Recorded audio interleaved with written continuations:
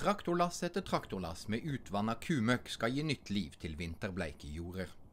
Det lukter vår på lista. Men det er ikke bare lukta av kuskit som er i medvind om dagen. Hele landbruksnæringa er i vinden takket være koronapandemien. Overdreven antibiotikabruk i søreuropeisk landbruk lanseres som en mulig årsak til at koronakrisa har rammet Spania og Italia så hardt. Et samla storting legger nå press på regjeringa for å sikre økt matproduksjon og mer selvforsyning i kriseåret 2020. På Bausje, ytterst på lista, er Geir Arild Nilsen og sønnen Andreas i full gang med våronna, i trygg forvissning om at deres egen matproduksjon både er sunn og sikker.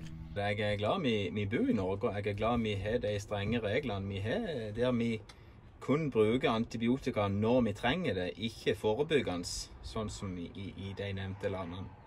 Så, så, det er jo derfor vi kan slå oss litt på brystet og skryte av den eh, gode maten eh, vi har i Norge. Kommuneoverlege Ann Margret Haaland ser ikke bort fra at overmedisinering i søreuropeisk landbruk kan ha bidratt til antibiotikaresistens, som i sin tur har forverret koronakrisen bl.a. i Spania og Italia. Dette er en situasjon vi heldigvis slipper i Norge. Antibiotika virker når vi bruker det. Og det er særlig viktig hvis du blir syk av et virus og får en ettersykdom hvor det er behov for antibiotika. Da har vi fortsatt rimelig sjanse til å behandle deg og lykkes med det. Geir Arild Nilsen tror Norge gjør klokt i å bli mest mulig selvforsynt med mat. Selvforsyningsgraden eh, tror jeg er veldig eh, viktig å ha et stort fokus på både i Norge og i andre land, selvfølgelig.